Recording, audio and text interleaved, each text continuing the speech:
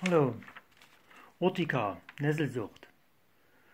Urticara, lateinisch für Nessel. Ich bin kein Arzt oder Apotheker, glaube mir nichts, mache mir nichts nach, ich äußere hier nur meine Gedanken.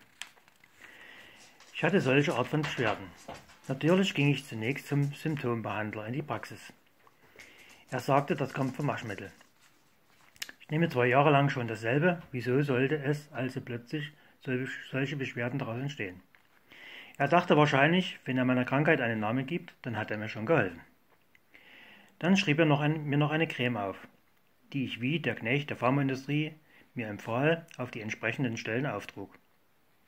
Hat es geholfen? Natürlich nicht.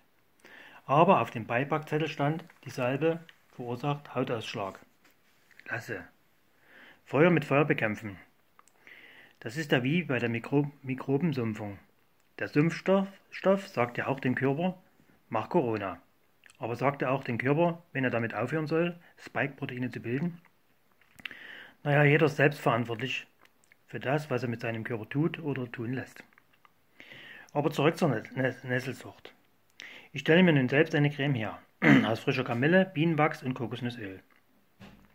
Zunächst tupfe ich auf die entsprechenden Stellen verdünnte Essigsäure auf.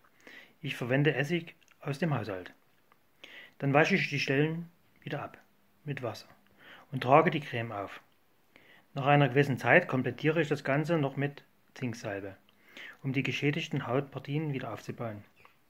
Zinktabletten nehme ich noch zur inneren Anwendung. Wenn es geholfen hat, lade ich das Video hoch.